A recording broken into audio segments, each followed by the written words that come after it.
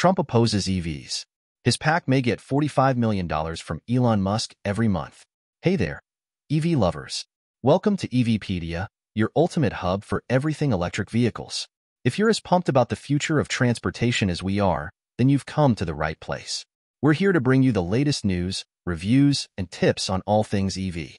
But before we dive into the electric goodness, we need your help to keep our battery charged. So, if you enjoy what you see, give that subscribe button a little love, hit the like button to show your support, and drop us a comment with your thoughts or questions.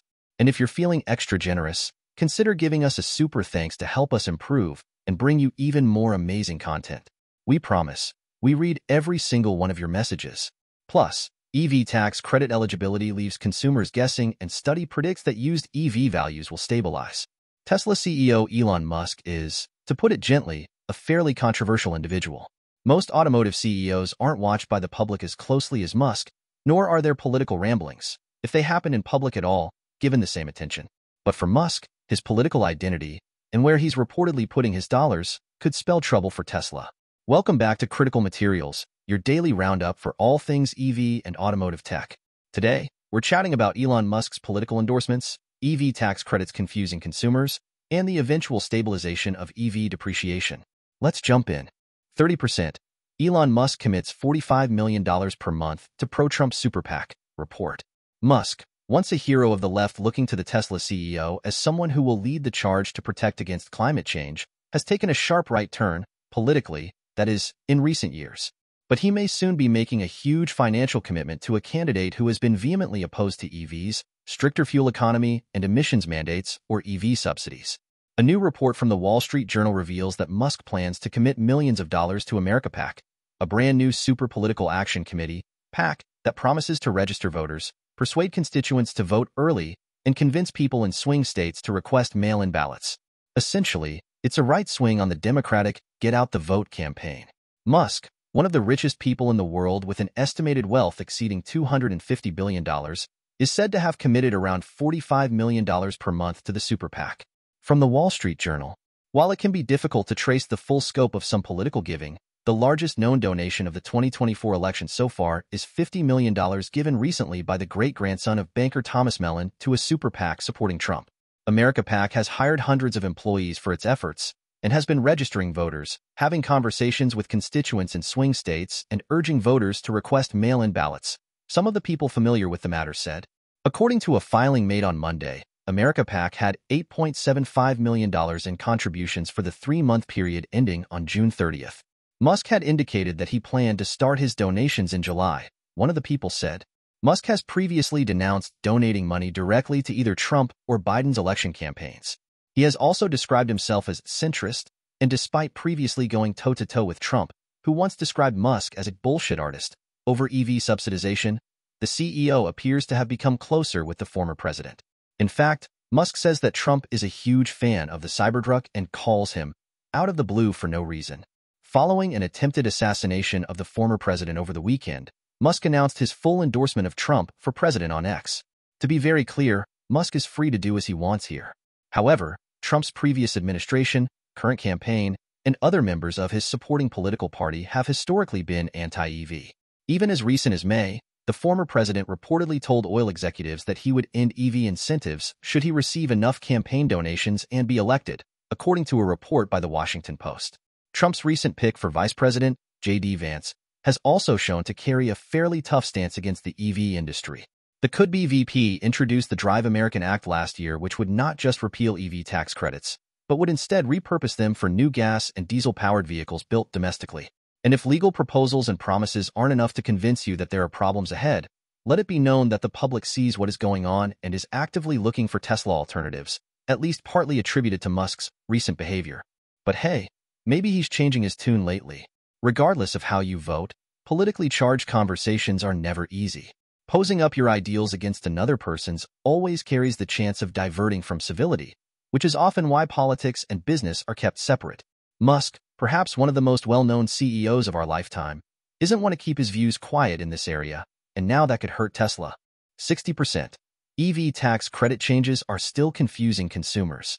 The EV tax credit has been a great tool to bolster the adoption of EVs in America. There's just one problem. It's kind of confusing.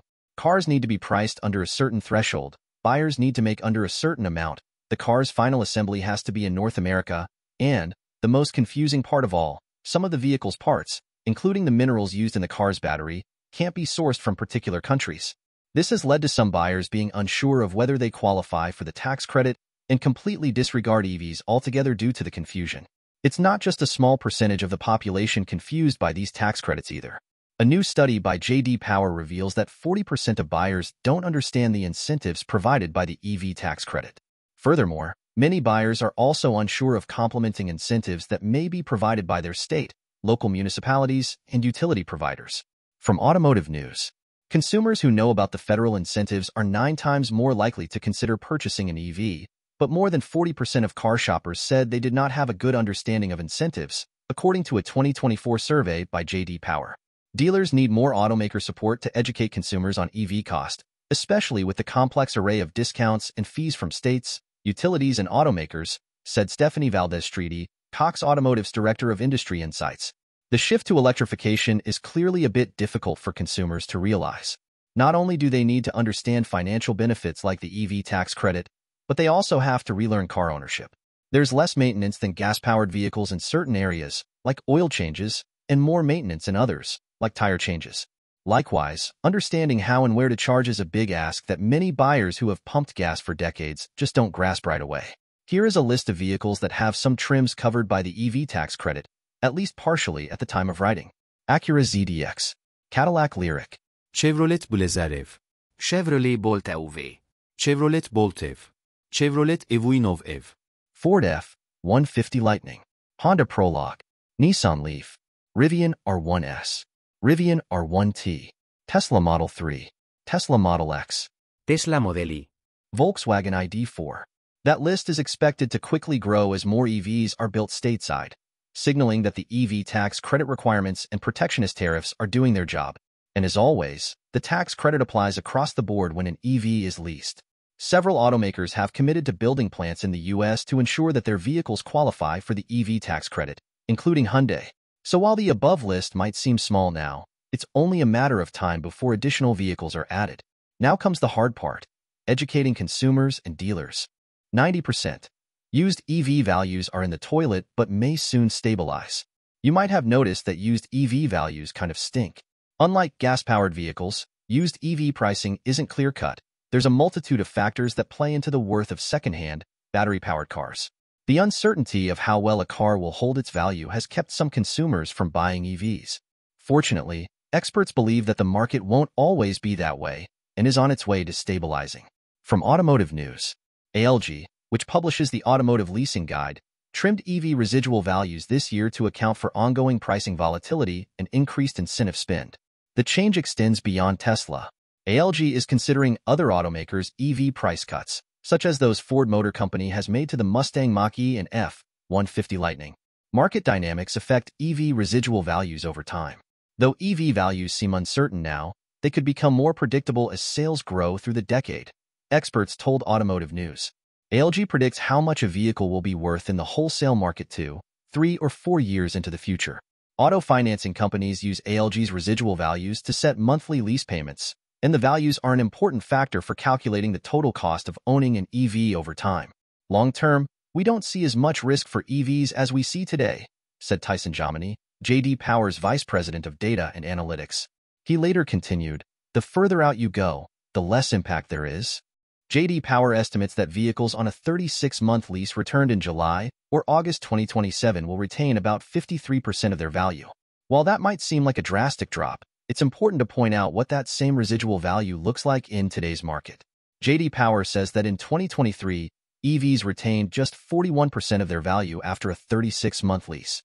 Comparatively, all vehicles, including EVs and combustion-powered cars, retained 66% of their value on average. This means that EVs still aren't predicted to be on par with the entirety of the market average by 2027, but will grow substantially closer to it. Residual value is also expected to improve as automakers add more EVs to their fleet. With battery-powered cars still being a new technology, pricing on components and innovation are fluctuating constantly. This economies of scale approach, combined with EVs being commonplace, can lead to a rather rapid drop in new car costs and more stability on the bottom line. The vehicles will be very normal to most consumers, and therefore the residual values will start to reflect more of a true market dynamic as opposed to today, said Jominy. For those who want an EV today but don't want to risk depreciation, perhaps consider a lease. EV lease deals have been absolutely bonkers with some automakers over the past few months, with some popular choices falling well under $300 per month. 100%. Have you been burned by EV depreciation? Anyone buying a new car knows that they're going to take a bath on depreciation when buying a new car. When I bought my Tesla Model 3 Performance last year for $52,990, I knew I would be in the boat too, but I didn't realize just how bad the market would take a nosedive. On the plus side, I take a bit of solace knowing that it doesn't hurt as much as an EQS owner who ate 47% of the car's value, or a whopping $65,000 in just a year. So let's make each other feel better here, folks. How many of you have been burned by the depreciation of their EVs? Let me know in the comments. And that's a wrap for today's episode of EVpedia. We hope you had as much fun as we did exploring the world of electric vehicles.